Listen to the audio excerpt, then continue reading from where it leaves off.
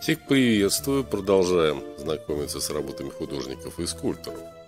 Их автобиография Джон Генри Хинтермейстер, американский художник швейцарского происхождения, был известным иллюстратором и художником американских исторических сцен, который создавал картины для календарей и рекламные иллюстрации для американской компании. Был отцом другого иллюстратора Генри Хинтермейстера. Оба мужчины использовали подпись Хайнтермейстер, что вызвало замешательство среди коллекционеров. Они работали вместе, создав более 1050 иллюстраций. Я цитирую Википедию. Джон Генри Хинтермейстер родился 10 октября 1869 года в Швейцарии.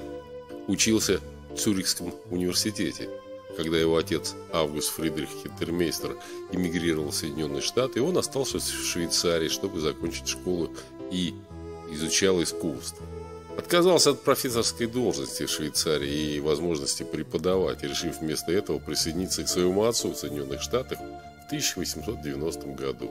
В Соединенных Штатах работал художником в зале суда и коммерческим иллюстратором. После того, как он чуть не погиб в результате катастрофы на Парк Плейс в августе 1891 года, когда рухнуло здание фабрики, в которой он работал, он отошел от заводской литографии, которой занимался в то время, чтобы осуществить свои мечты. Писал оригинальные произведения искусства в течение следующих 50 лет, и его произведения были защищены авторским правом в реестре 1946 года.